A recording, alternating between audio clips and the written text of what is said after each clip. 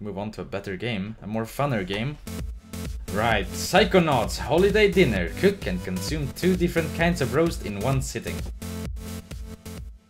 This one's a bit weird. If you don't download the save file, it'll take you maybe, I don't know, half an hour, 45 minutes or something to get to this point in the game. But you can just go get a save file and it will take you about 5 minutes. This is a really good game, I recommend it if you haven't played it. If you're watching this on YouTube, the save file will be in the description. Psychonauts!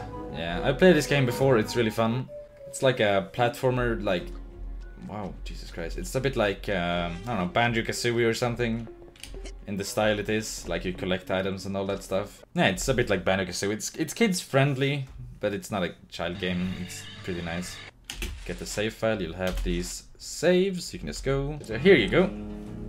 So this is uh, a fair way into the game. Basically the thing you need is that bottom right you see that fire cooking thing next to the queue. That's the thing you need to unlock. It's the uh, pyrokinesis or however you pronounce that. And uh, you can't be much later in the game than this because you need to have it on day otherwise the uh, birds you need won't spawn. Anyway, just gotta go find a squirrel and a bird. There's a squirrel. Just uh,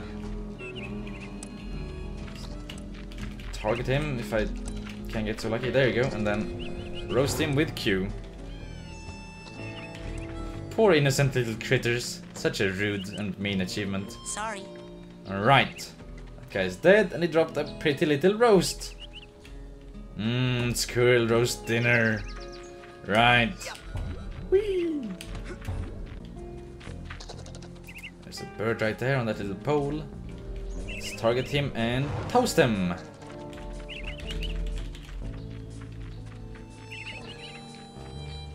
Okay, that one. Yeah. And let's eat the roast. Bird roast dinner. Achievement unlocked. Holiday dinner. Yes, very easy. Took me around, what, two minutes to do or something?